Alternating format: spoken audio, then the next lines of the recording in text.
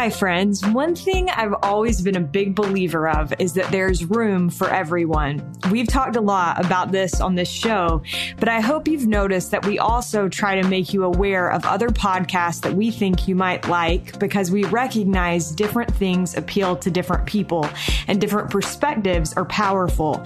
So I wanted to make sure you've heard about LDS Living's newest podcast, Magnify, which is geared toward women and seeks to explore how women of God can use their influence to make a difference in the world.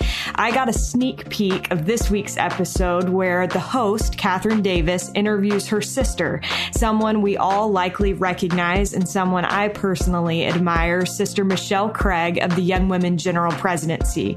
The episode was wonderful, so I just wanted to encourage you to check it out. Now we'll get to this week's episode. Last year, Heidi Swapp wrote, 2015 feels like a million years ago. I guess it's because that's when my whole world changed completely in a way that I would have never imagined. On July 9th, my 16 year old son, my second oldest of five children, made the decision to end his own life by suicide. Complete shock does not even begin to describe how I felt. Whether it be ignorance or optimism, I just didn't even know anything about suicide. Sure, I had known a few stories stories of people that had ended their lives, all of which I carried a certain critical judgment that was completely based on zero facts, 100% lack of understanding or compassion. So when suicide became a reality in my own family with my own beautiful, funny, charismatic, charming, athletic, life of the party, best smile award winning high school sophomore, newly driver's license son, I was completely devastated and everything I believed about my family, my parenting, and life as I knew it was shattered.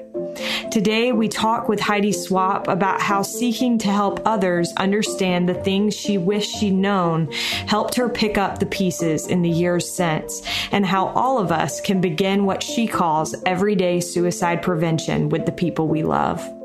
Heidi Swapp is perhaps best known within the scrapbooking community as she calls herself a memory keeper. She is the creative director of her own Heidi Swapp brand. For years following her son Cory's passing, Heidi was the co-host of a podcast called Light the Fight, which sought to bring light to tough topics related to personal and family relationships.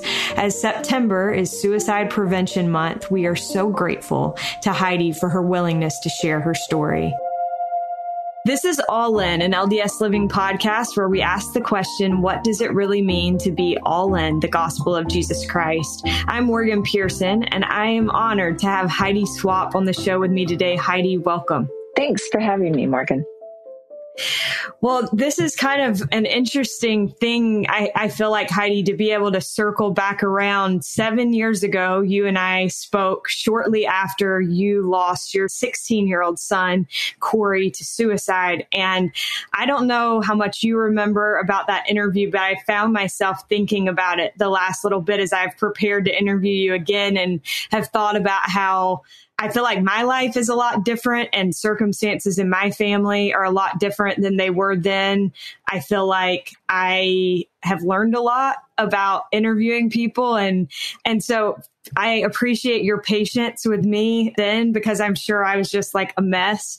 But I also just remember how gracious you were to talk, especially so soon after Cory's passing, that you were so gracious in wanting to share the things that you were learning with other people and to hopefully spare other people the same pain that you were experiencing, which I think is one of the most Christ like things anybody could do so thank you for that.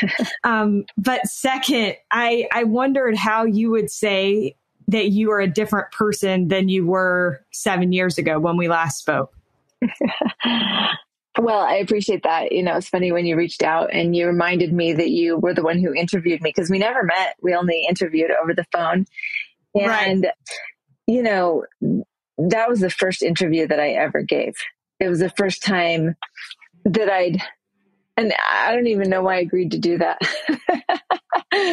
at that time. And I think to to your point, I was really trying to find a voice. I was certainly recognizing that that I wasn't alone with suicide affecting my family. And I was realizing that I had an opportunity to to share that story. And I think that my personal passion, which has also kind of bubbled into my my profession, is that I believe in the power of stories and the importance of stories. And so I knew really soon thereafter Cory passed away that it would be important for me to share the story. And that's not to say that was my first thought, because I think that my my first thought was was honestly like what was a what was a lie that I could come up with that would maybe be easier to to talk about than than the truth of what happened. And so, you know, I was thinking back to when we did that interview and you know, for for people who don't know me, just a little teeny bit of background that's a little bit interesting is that if if you'll if you'll pardon this really broad and and interesting description I'll give of myself, but but people would call me a scrapbook celebrity, which is weird. Very, I know, just just cringe for a second is fine. But for the last 20 years, I have been published in magazines back in the magazine world. I've had books published. I've had a a blog. And when you're a scrapbooker, you share these really intimate photos and stories. And so from the time, I mean, I started teaching scrapbooking classes when I was pregnant with my son Cory, who passed away. And so because in that that span of his lifetime, I had, you know, shared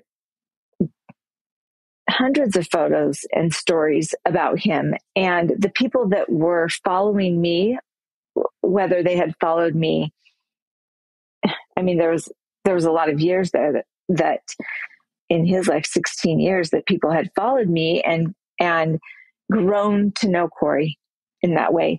And so when he passed away, and I realized it would be necessary for me to tell what happened, and it was still really hard for me to talk about it. You know, when when we first chatted, and at the same time, it was really important for me to share the story because I knew that via social media and via Facebook, this article would be a way that I could both share the story and also share my faith, which has always been an important opportunity for me to give give a, a little insight into my belief system.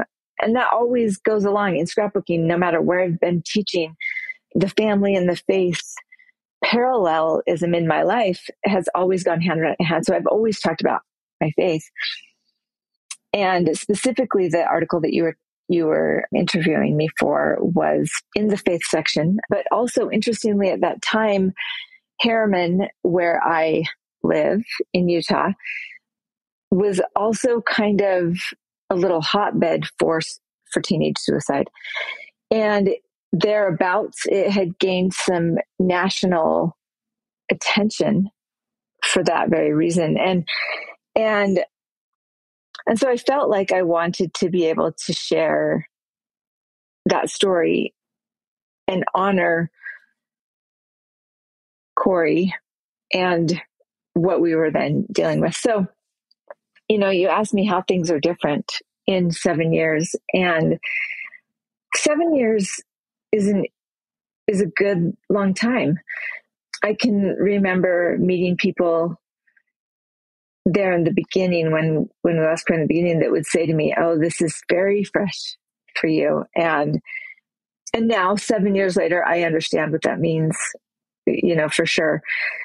Like for example, when we first spoke, I it's a wonder that you could even understand me. I'm sure that I was crying throughout the interview. It was very difficult for me to talk without crying. And, you know, uh, I'll, it still is. I'll be honest. At that time, I didn't have a lot of vocabulary about how I felt about suicide, about in general, what I was learning or what I was even facing. And so I, I, can remember still just really having a hard time finding words. I can remember being in interviews and there'd be just a, lot of stuttering and, and me just really kind of grappling to try to, to really express myself. Since that time, about two and a half or so years after Cory passed away, I started a podcast with Cory's therapist. And the reason why I wanted to do that was because obviously I knew that his therapist was only able to meet with one person at a time in the confines of, of a, a little room. And I, and at that time I'd already been kind of in some coaching with him, not so much therapy, but more of a coaching relationship that he and I had. And I was learning so much so quickly.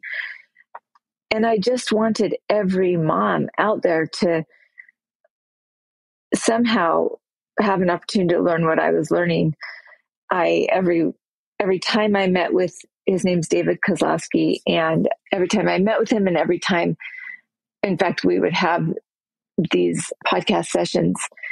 I just would think to myself, I wish I knew this 20 years ago. I wish this was information that I had access to when I was a young mom with young kids, because the way that I naturally interacted with my kids and directed them and managed our relationships was very much just a spillover from how I had been raised. And and never had I been I never thought about the the way that I was talking or my body language or any of the the things that I was then learning that certainly impacted the relationship. And so 7 years ago so, so, we have done the podcast for about four and a half years. I've kind of stepped away from it. It's kind of going in a different direction now. David is heading it up on his own.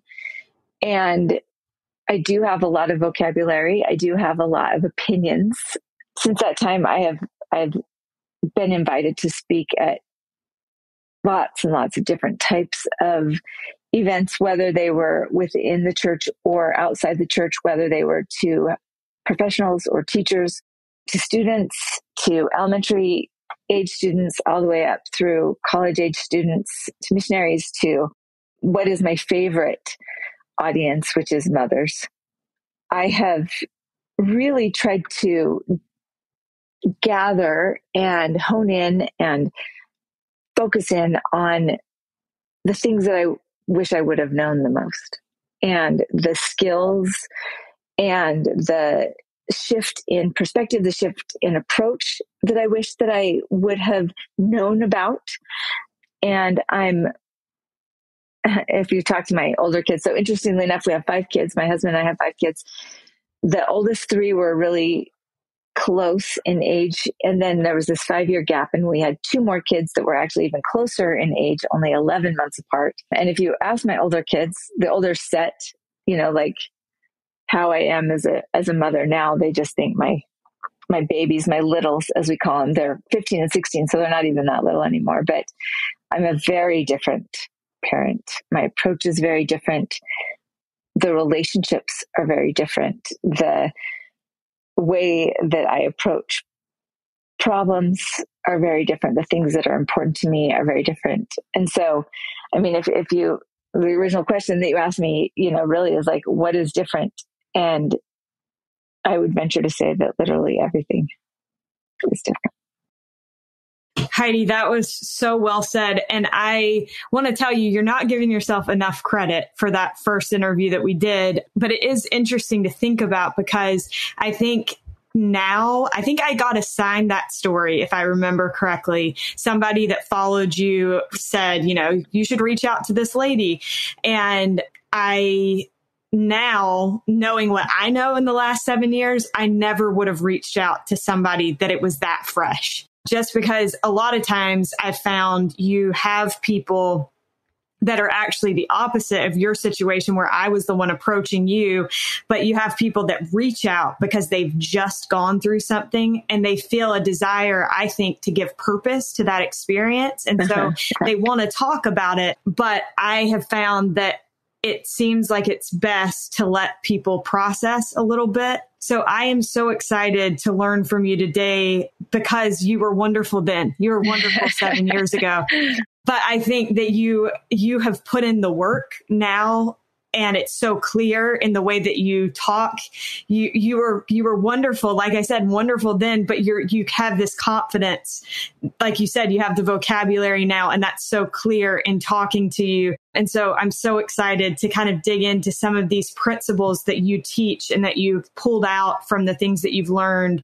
You talk a lot, Heidi, about how it's important to have what you call everyday suicide prevention, meaning that it's something that people should be actively doing, whether they think there's a problem or not, just by the way that we interact with people that we care about so you have eight different principles that you talk about as it relates to suicide prevention. And I wondered if we could just kind of hit these and just have you share the things that you've learned. And certainly I should tell people if they want to go listen to the episodes of the podcast that you've been involved with, like you said, you're not as involved now, but Light the Fight is where you can learn way more from Heidi. But today we'll just kind of hit this high level stuff the first principle that you talk about is don't freak out.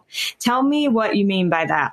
So that's probably my my number one message to to parents to anybody and it and it really is because I am like the the OG freaker outer you, you know like freaking out just comes so naturally in fact in in the beginning we started doing like parent events that we would go to schools and the name of the events were don't freak out. And originally in the very very beginning this was one of the first things that david talked to me about because everything i i'm a i'm a very emotionally charged i'm a very passionate person i'm kind of a, a big personality and I also just like things done a certain way. I have very high expectations of myself and others.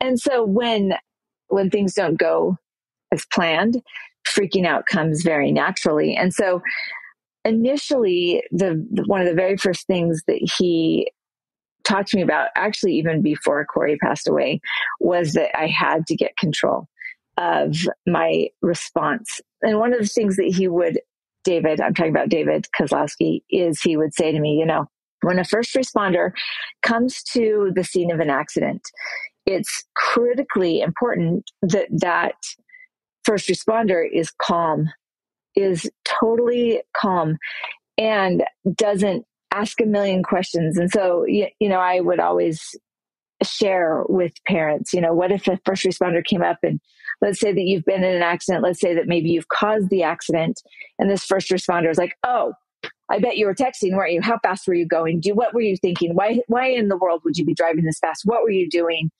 You know, and and we kind of spew out these questions. And if you can imagine being on the other end of somebody that has some power and authority coming to you and just like asking you a million questions, harsh, shaming, triggering, alarming questions that immediately your response to that person would just be to completely shut down.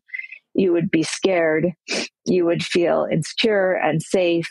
You would feel like, you know, that wasn't somebody that you wanted to open up to or even let them help you at all. And so normally when a first responder comes to the scene of an accident, the the first thing they're going to do is make sure you're okay. They're going to try to get you to calm down. They're going to make sure you're safe. They're going to remove you from the scene of that accident. And then once you've had a chance to take a breath, they're going to say, you know, can you tell me what happened? You know, to walk me through what happened. And in your own words, without feeling condemned and without feeling scared, you would have a chance to to share that and a space to share that. You know, from a really young age, I think that we as parents, even when our kids are super young, we train them that when they do something wrong, we freak out. We let them know, like you, you spill milk and it sh- and it sp- splatters all over the entire kitchen, and we lose our cool. And you're walking out to church and you can't find one of the shoes, and you lose your cool. And leave your bike for the 50th time behind the car and it gets run over. We lose our cool. My favorite one is like and Morgan, I don't think you have kids, but there there may come a time when you have like kids strapped in car seats and you go through a drive-through and they're like, you know, I want a smoothie.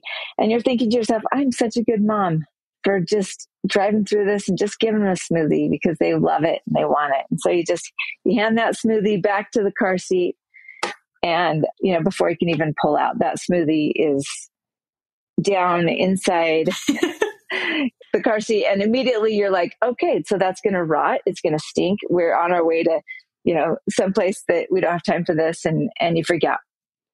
When you show your kids over and over and over from the time they're super young to the time that they're 13 14 15 they're done telling you the messes that they've made they will tiptoe around you they will do everything possible to mitigate any freakouts. Kids hate it when their parents freak out.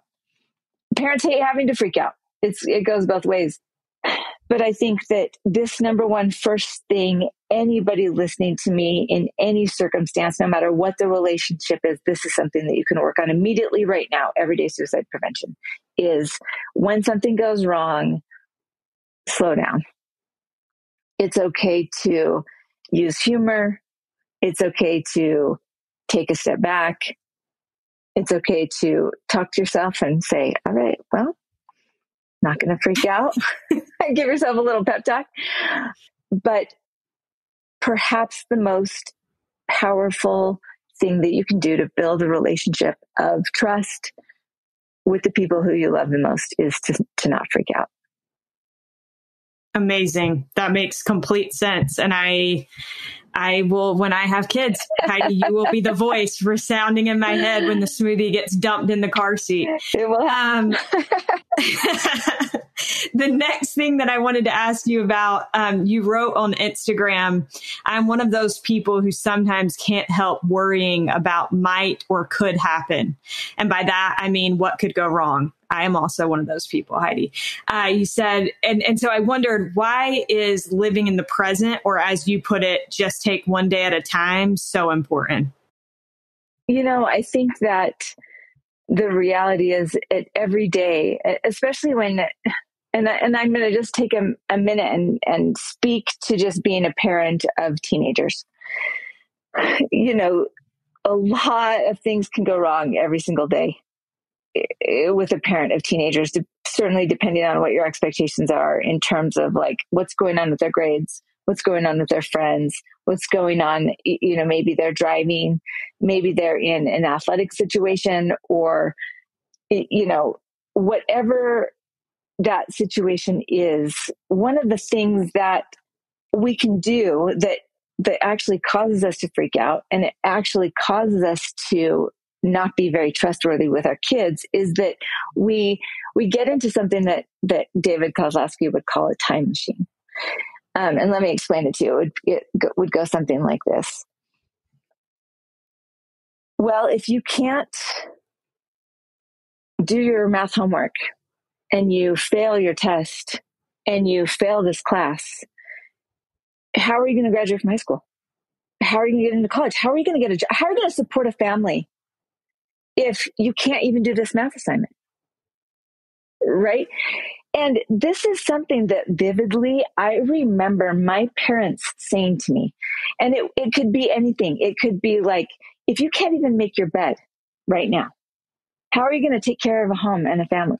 Or if you can't even uh, come home at midnight when you say you're going to come home, how am I ever going to trust you to do this or this or this? Or what happens is the behaviors that are existing or the fears that we have about the behaviors existing, we immediately want to mentally prepare ourselves for everything that could go wrong And we do a disservice to ourselves and to our kids by condemning them to some future fate based on something that's happening right now.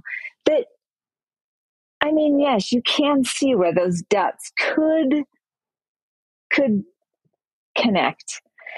But the reality is stay in today.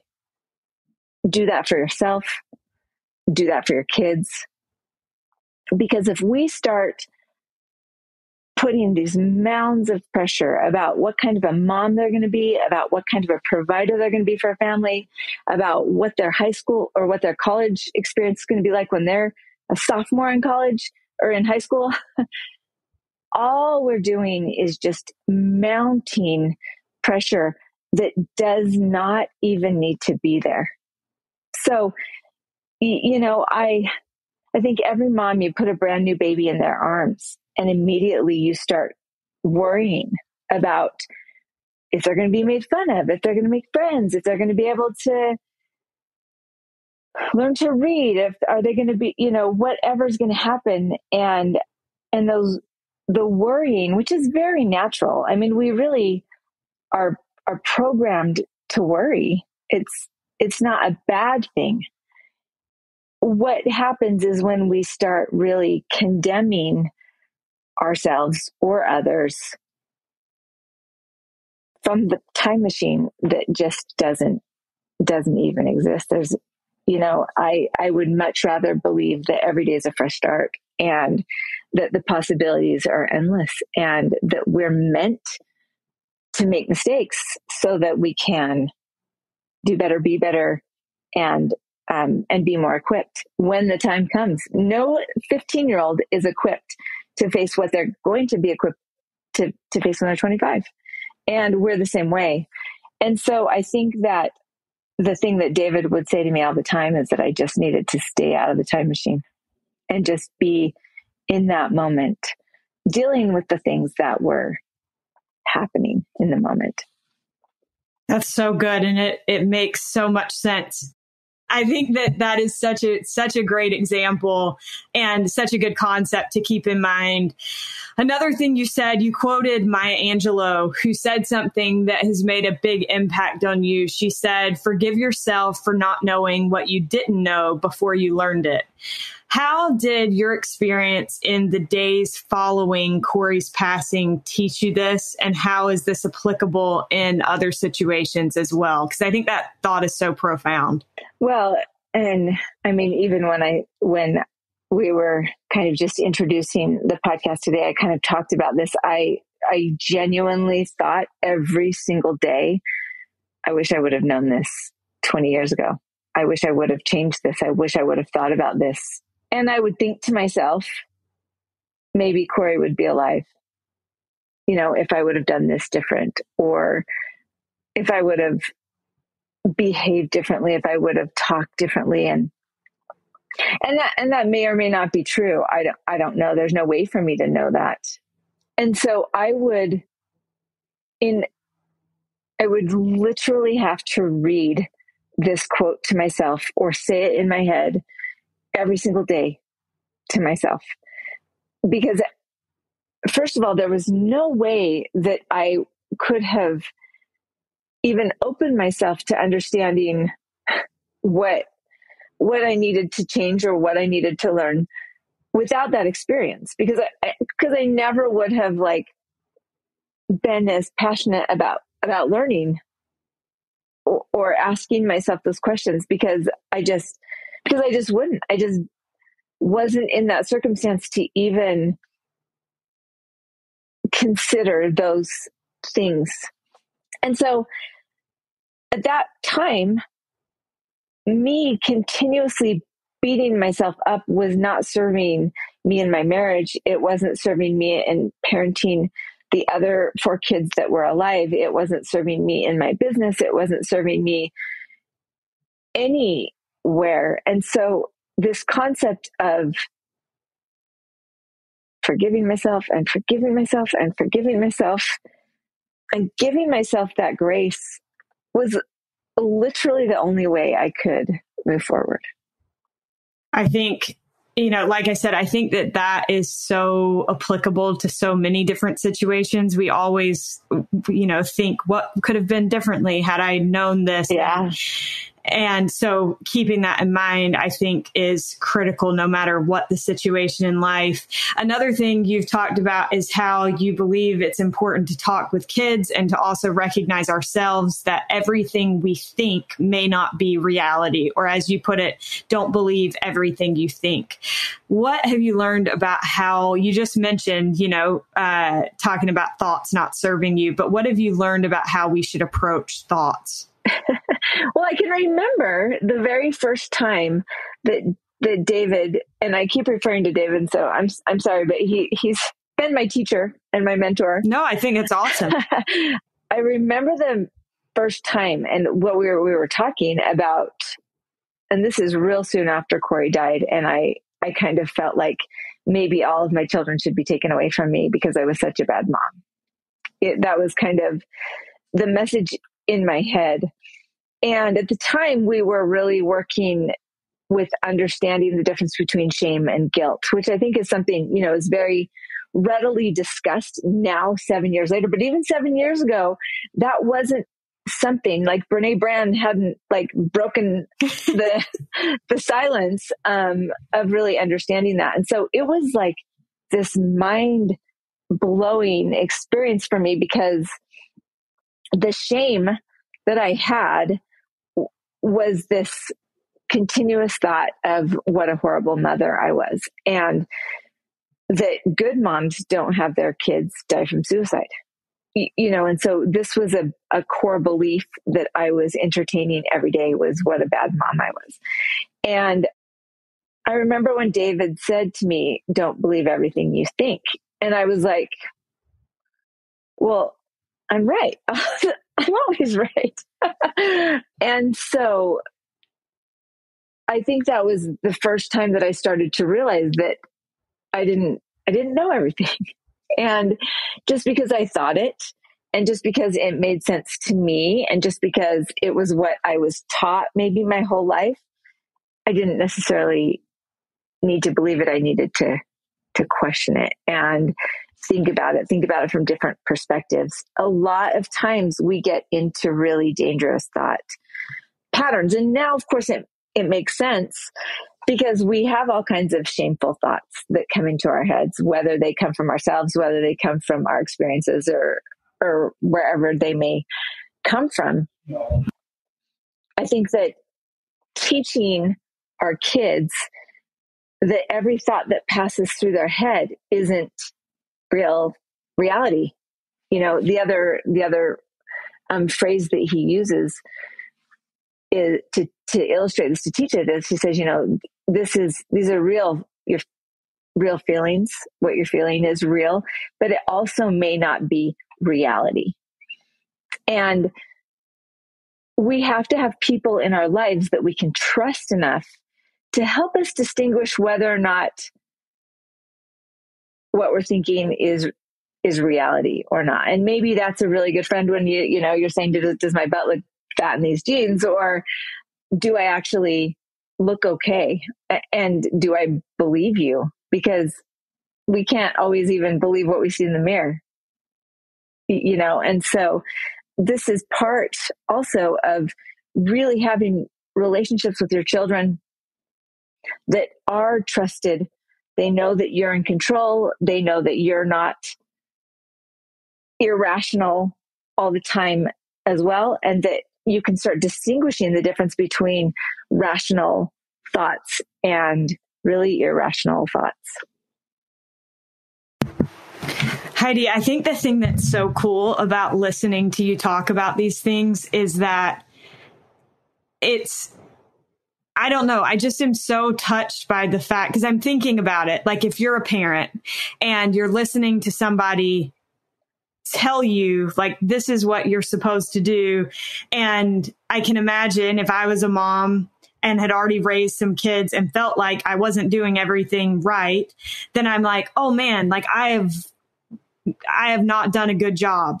But I love the way that you approach this topic and the way that it feels like it's never too late right? To start being the kind of person that you want to be and to learn the things that are going to make a difference. And um, I don't know. I just, I have this feeling, Heidi, that Cory has to be so proud of you. And I'm grateful that you're willing to share all that you're learning or have learned you said one of the most important things that you've learned in the past seven years has been what you call the and, which essentially means two things can be true at the same time.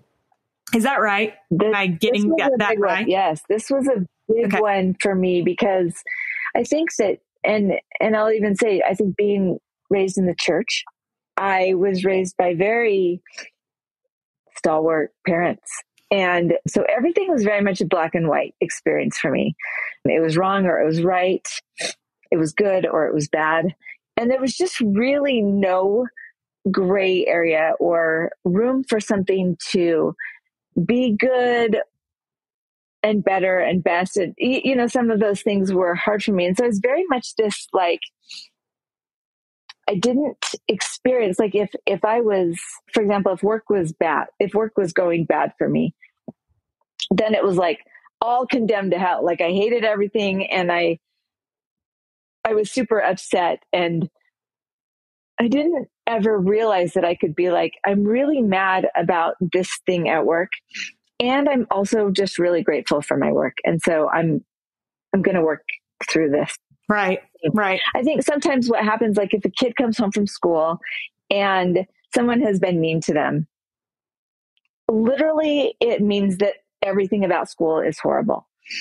Everything about them is horrible. Everything about their day is horrible.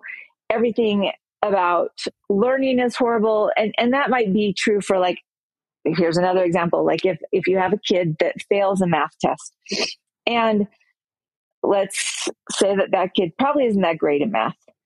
They come home and they've failed at math and now they're just stupid. They're stupid, bad at everything. They're they have and they just have no hope and they may as well just give up and and now everything is awful and ruined. And i think that it's really important to be able to say yeah you're right. You you are not thriving in math right now and you're really doing great in history. And look at you. You just ran the mile in 8 minutes. This is incredible. Like and you know you're you didn't really study remember and, you know, so I think that when kids are upset, it tends to feel like the whole everything is just awful. And I mean, and you can, anybody who's listening can probably think of a time where one thing in your life, one aspect in your life has gone wrong, and that just casts a shadow over every single thing. And you can't even see the good because it just like sits right on top of your eyeballs.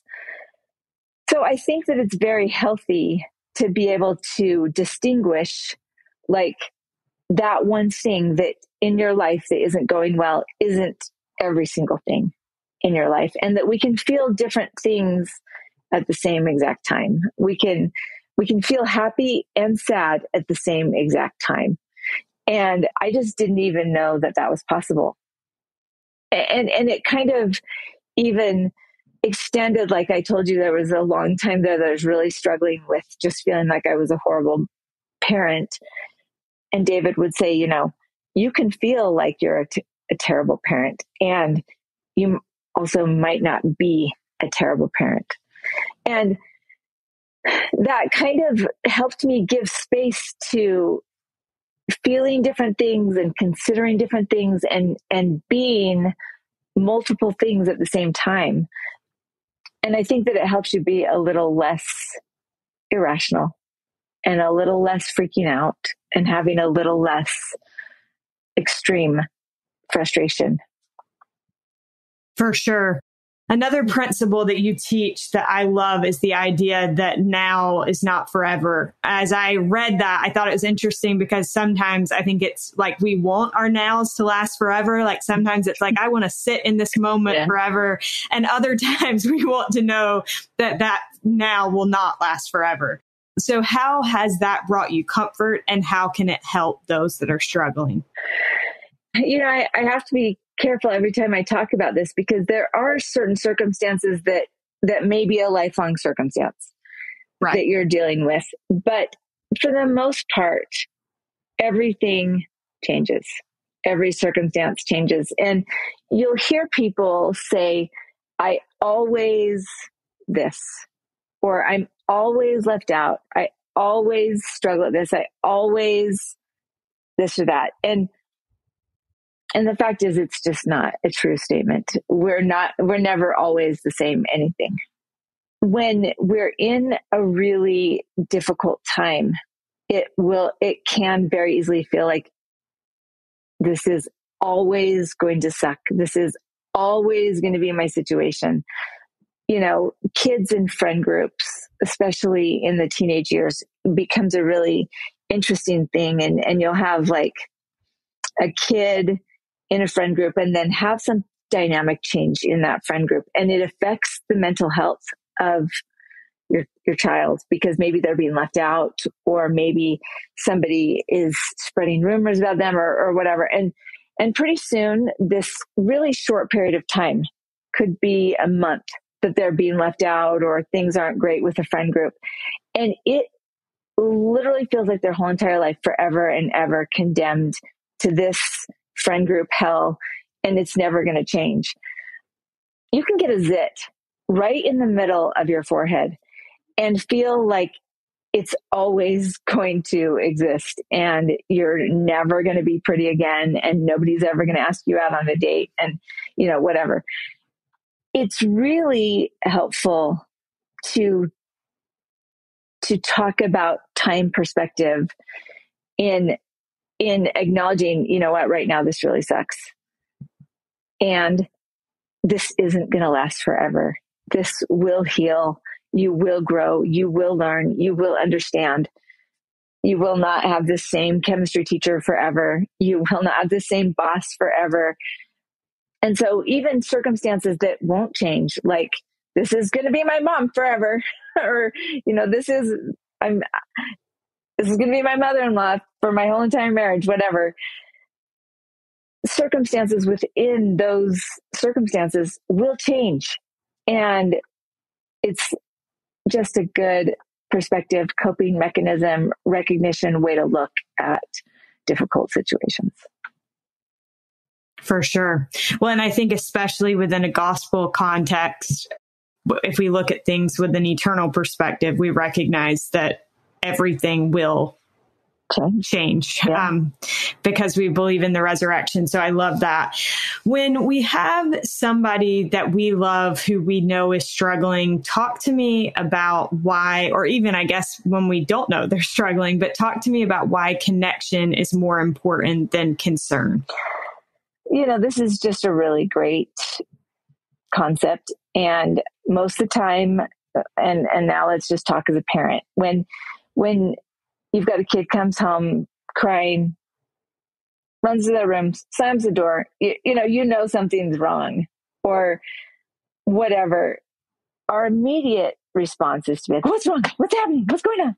To want to fix it. You, yeah, we're going in with all this concern, like what what's happened, and and we have no idea, you know, what that is, and and even if you have somebody that maybe they're that negativity or depression that's happening over a long amount of time. Maybe it's been going on for a little while and you just can't get that information. You don't know what's wrong. Going about creating a connection first is going to open any type of communication with this person. And it, and it looks something like this. It, you know, rather than just only focusing on what's wrong, you focus on that person. You know, you know that they really love this type of a Slurpee or a drink, and and you show up with it, and you, and you bring the drink, or um, you know, when you're driving in the car, you turn on their favorite song, and and you have a little dance party, and then after you've had the little dance party, and after you've brought in some of your favorite treats, or after you've sent a sometimes I like to text a photo, a funny photo of a, a shared experience or even a meme or a funny TikTok. They work really well too. And when you get that little connection, like, okay, we're right here on the same page, then you can say something like, I can tell things are a little off right now. And I just want you to know that when you're ready to talk, I'm here to listen. Period. So, what you've done is you've established a connection and you've opened the opportunity for communication. And it might not come in the next five minutes, it might take an hour, it might take till the next day. But if you just keep on reopening that door of communication without, like, what's going on? What's wrong? Tell me everything. I, you know, you're going to establish that level of trust and they're going to be able to come to you on their terms. And then when they do, listen and just let them share. And that is the most beautiful way to establish and use connection in a positive way. So well said. I think that what you just said reminds me of the Taylor Swift song "The Best Day," which I think um, shows like what a child remembers about their parents. And um, so I love that principle. Heidi, we've talked a little bit about how you feel like you've evolved as a person over the last seven years. But another thing that you talk a lot about is active evolution and making deliberate efforts to evolve as people. What does that look like? Well, the definition of evolution is really just to get better over time. And a lot of us, okay, I'm, I'm 50 years old. And as I think back to like how I was raised, I know that my mom and dad did the absolute best that they could. And I know that they were actually taking cues from their parents that they didn't like and tried to be better, you know? And, and even though there's a lot of things as I think back to the way that I was treated, I didn't like. And I was already trying to incorporate them. I and I feel like I I did. I feel like I am better in a lot of ways. But I think that it's really important as a parent right now, wherever you are or in any relationship that you are, to acknowledge the fact that evolution is required of you and of me and all of us. Evolution is required. And so, not just to sit in the situation where you think, you know what, I am a pretty good mom, or I am a pretty good wife, or I'm a pretty good friend, I'm a pretty good sister, and so I'm I'm okay here. I think it's important to ask yourself what can i do better and maybe there's topics and and you know maybe they're gospel topics maybe they're world topics maybe there's issues that you and your kid or you and your spouse don't see eye to eye on and that is a notification that you need to do some work. Like let's, you know, let's take a difficult topic like LGBTQ um, in in our world right now. And those of us who are 50 years old have a lot to learn about supporting the LGBTQ community, where maybe our teenager, so it's coming a little more natural for them and it, it doesn't seem as as difficult to make those changes. Well, we have to look at this these difficult situations and and ways that we don't see eye to eye with people in our lives and recognize that evolution is needed. And that means that we need to go and listen to podcasts and read articles and educate ourselves on maybe even on both sides of those issues. And we need to say to our kids how do you how would you teach me? How would you help me understand so that I can improve. And let yourself be influenced by your kids and influenced by your partner, influenced by the world around you in ways that you can be better and allow for those differences to exist. Allow for yourself to be more loving and tolerant and patient and recognize that that's not just going to happen by doing nothing. It requires freaking hard work most uh, most things that matter do seem to require really really hard work. Okay, the last principle. I have no idea what this one means. So tell me what yet means. Yet is a wonderful way to end a sentence for a kid who is struggling or for yourself if if you if you can get, do it for yourself but a lot of times you'll have a kid come home angry and upset and say, you know, no one is ever going to like me. You know, I, I didn't get invited to the dance. I didn't, I didn't get my round off back handspring. I can't understand my math. I don't have any friends. I, you know, I, I can't this, that, and the other. And these things, like to us as a mom, you think to yourself, okay, it doesn't really, in the grand scheme of things, if you have your round off back handspring, it is not the end of the world. Or we know for ourselves, like if they got broken up with by their boyfriend, that likely there's going to be another boy that comes along at some time and catches your eye, right? We know this as a parent, but to that child or that person that's going through something that's really awful, it doesn't help to say, oh, don't worry, there's going to be somebody else, or oh, that handspring doesn't matter because it does. It does matter. And so what we can say is, you know, you just don't have it yet. You got to keep trying. You know, you don't understand that math yet. And you haven't found the right guy yet, or you haven't taken the time to work through this yet. But there is time. And I know it's important to you, and I know you can do it. And I want to help you. Yet, is this allotment of possibility that every one of us possess possesses in every circumstance to be and do and emerge into whatever we want to become. And there is time and there is opportunity. I think